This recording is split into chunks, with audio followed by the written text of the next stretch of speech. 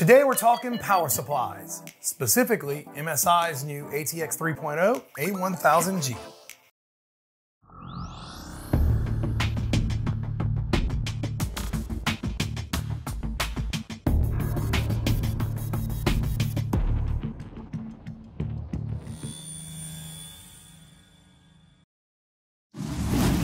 What's up guys? Today we're gonna talk about MSI's new ATX 3.0 power supply, MPG A1000G. So first of all, what is an ATX 3.0 power supply? Well, check out our short. Hopefully it's up. It should be posted by now before this video goes live. Uh, and I'll go a little more in depth about what that standard means.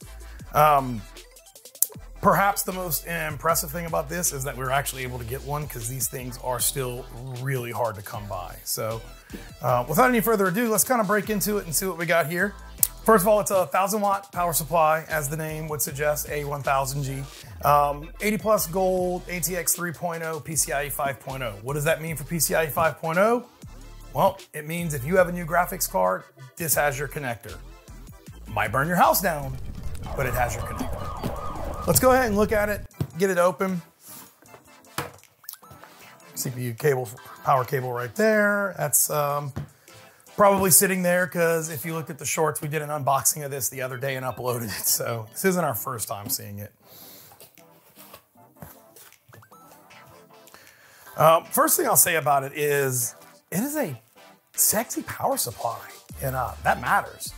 Um, if you have a case that shows it off, unfortunately the case that I have doesn't. Um, but that's fine. If you have a case that shows it off, you're gonna like the way this thing looks. Um, the other thing, it is small. Uh, 150 millimeters by 150 millimeters. So that means it is gonna fit um, ATX cases, it's gonna fit micro ATX cases, uh, and maybe instead of using an FS, SFX power supply, you might be able to squeeze this into your case. So that is um, a really good thing. It gives it a lot of versatility, especially for small form factor builds. And again, I mean, the looks of it are on point if you have a case that shows it off. Um, so we have a 135 millimeter fluid dynamic bearing fan. Um, it's not the quietest fan in the world from the few reviews we've seen, but it does have a zero fan mode. Not sure if you guys can see that here. So basically when that's turned on, uh, the fan will not rev up until you get above 40% TDP. So um, chances are if you're building with this type of power supply, you're probably gonna be above that 400 watt mark pretty often. Um, but at least when your system's at idle, you shouldn't hear too much noise coming out of it. As far as the guts of it, so it is all Japanese capacitors, very high quality. Um, if you're familiar with power supplies, you know a lot of them are built by basically uh, just a handful of suppliers. This one comes from CWT, so very reputable builder. They make phenomenal power supplies. Um, a lot of the major brands that you see, they're actually who manufactured it. Let's take a look at the connectors we have on the back right here. So one thing that I like about this that really drew me to it, um, we were wanting to do a build with a ATX 3.0 power supply. So we do have um, a, a Ryzen 9, you see it over there. We have a 4090 going into it, which is I don't think out on display right now. Um, so I wanted to have something with the 12 plus 4 pin connector, which is right here. So you have your, uh, obviously your 12 pins plus the 4 sense pins. You hear a lot of people call it a 16 pin connector. It's not really 16 pins, it's 12 plus 4. Um, but the big thing, just realized we're holding it upside down for you guys, um, it still has four CPU slash PCIe slots. Um, that's huge. So the motherboard we're using has um, two 8-pin EPS connectors just for the uh, just for the CPU. So if you're running it in a powerful system, which if you're buying it, you probably are, um, a lot of the ATX 3.0 power supplies in the 1000 to 1200 watt range, um, specifically like the Thermaltake GF3 right now, they only have three 8-pin connectors, so you could be very limited if you're not taking advantage of the 12 plus 4 pin right here. Um, for example, if you're building uh, maybe with a new AMD GPU that's coming out that uses two 8 pin connectors and you're pairing it with a Ryzen AMD 7950X, well, did I just say Ryzen AM, AMD Ryzen 7950X? Sorry, guys. Um, if you're using like a Thermaltake GF3 1000 watt power supply, you're gonna run out of eight pin connectors. Like you're you're just not gonna have enough. There's gonna be two for the CPU, you need two for your graphics card. Um, you only have three on the whole power supply. So I do like the fact that this uses a few extra. Kind of gives you the option to go AMD or NVIDIA for your GPU.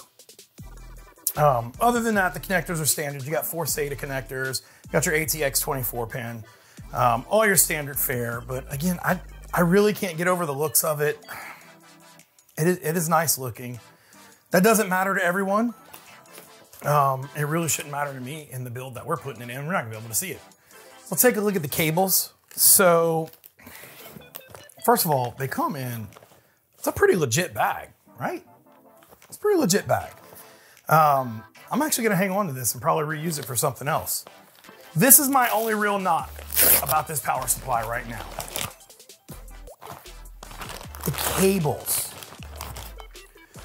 Not sure if you guys can see. So it comes with the flat, very stiff plasticky cables.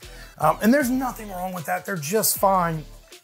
It's just at this price point, you know, $200 US, I would expect sleeved cables. And the only sleeved cable it comes with, see if we can get it out of here for you guys, is the 16 pin. And it's not even individually sleeved. It's the same uh, plasticky, stiff, flat cable just wrapped in one sleeve covering the whole thing. So uh, I would think for cable management, uh, especially for builds like this, um, man, flat cables, like, look at that.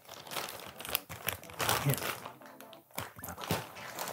Sorry, we'll skip ahead a little bit. That uh, the crinkling was getting really loud on mic, but for builds that are using a power supply like this, um, you're probably also the type of person that is pretty big into cable management.